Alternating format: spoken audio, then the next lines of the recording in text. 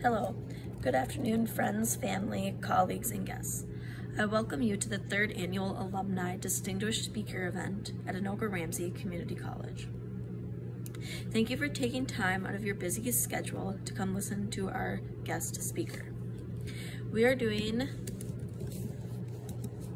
we are doing something a little bit different this year and chose a guest who is not affiliated with Anoka Ramsey Community College, but someone whom we hope will inspire our future, recent, and alumni graduates in their endeavors. I would personally like to give a warm gratitude and welcome to someone who needs no introduction, but I will give one anyways. Forrest Gump is not an alumnus of Anoka Ramsey Community College, but he can give alumni and soon-to-be graduates a sense of what remaining true to yourself, hard work, and determination will get you in life.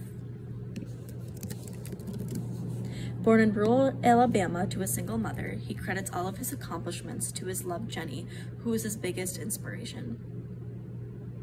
As a child, Forrest was believed to not be smart by other people. He quickly proved them wrong and graduated from the University of Alabama.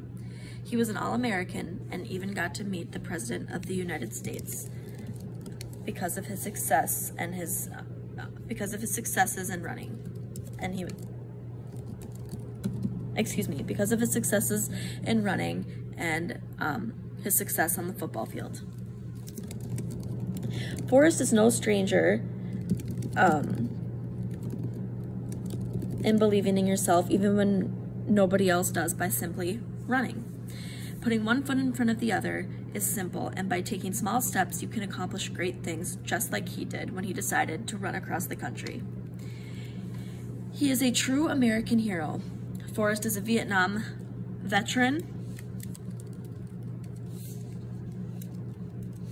who got who got him an injury in the in the butt and a Purple Heart.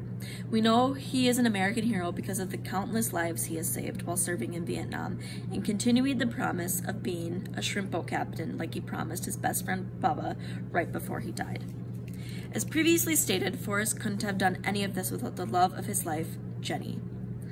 He wanted me to say that the speech he is about to give us is in memory of her, who was his biggest inspiration and the reason he was able to accomplish such great things in life.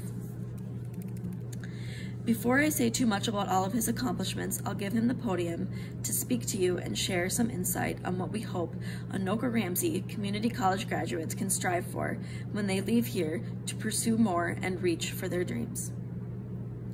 Thanks everyone. I introduce you, Mr. Forrest Gump.